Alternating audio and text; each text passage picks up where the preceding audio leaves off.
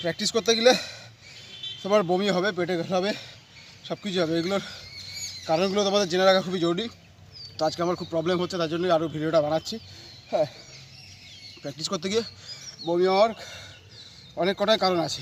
থেকে ইম্পর্টেন্ট কারণ কটাই তোমাদেরকে আমি এখন বলব, যে ভুলগুলো আমি কালকে আর আজকে করেছি। প্রথমত, কালকে আমি সারাদিন ঠিক করে জল খাইনি, ঠিকঠাক কাজে ব্যস্ত ছিলাম, ঠিকঠাক রেস্ট হয়নি। ঠিকঠাক রেস্ট না করলে তোমার পরের দিন প্র্যাকটিসে প্রবলেম হবে।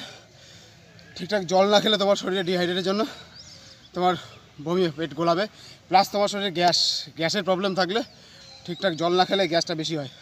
তো গ্যাসের প্রবলেম থাকলে পেটে তোমার পরের দিন ওয়ার্কআউট করতে অনেক প্রবলেম হয় আর বমি হবে, ঠিক আছে? তো এগুলো সলিউশন একটাই। তোমাকে সকালবেলা আরও একটা প্রবলেম যে সকালবেলা একদম খালি পেটে আসবে আমি সব কটাই সব কটা ভুলে আজকে কালকে একসাথে করেছি। তো তার জন্য এই প্রবলেমটা হচ্ছে ভালো হলে হচ্ছে বলে আমি ভাবলাম যে তোমাদের জন্য ভিডিওটা বানিয়ে দিই। যাতে তোমরা এই ভুলটা না করো। হ্যাঁ তো আমি সকালবেলা একদম খালি পেটে এসেছি, ঘুম থেকে উঠে কোনো রকম হ্যাঁ কয়েকটা কাজ করে আমি বেরিয়ে চলে এসেছি মাঠে।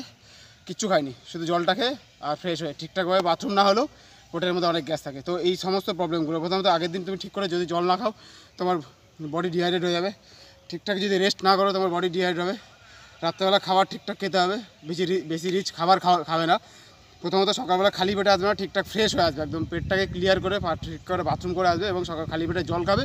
প্লাস সকালবেলা যেটা খেতে হবে, এক মুঠো ছোলা, বাদাম, কিশমিশ আর সয়াবিনের বীজ যাত্রা ভেজানো হবে, ভিজিয়ে এক মুঠো হবে বা দেড় মুঠো, দু মুঠো হবে, এরকম খেয়ে মাঠে আসতে হবে। তাহলে তোমার ওয়ার্কআউট করতে কোনো প্রবলেম হবে না বা তোমার বমি হবে না, কোনো প্রবলেম হবে না। জাস্ট এই সিস্টেমগুলো তোমাকে ফলো করতেই হবে।